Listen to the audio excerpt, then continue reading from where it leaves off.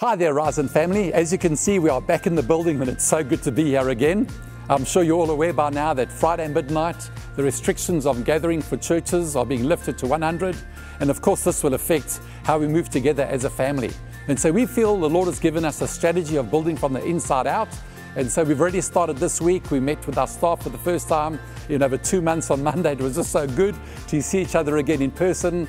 Then on Tuesday, we met with our eldership team. It was so good again to see each other and we would meet and pray and strategize. And then the big question everyone has is when are we gathering together again? Well, we felt that it'd be good to just wait off for another week. We felt again to build from the inside out. That was our strategy. So on Tuesday, the 2nd of June, we're meeting with our leadership team to really pray and seek God.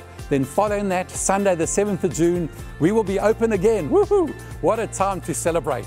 And at the same time, from this Wednesday, from next Wednesday, we're going to be also relaunching our life groups. They'll be gathering.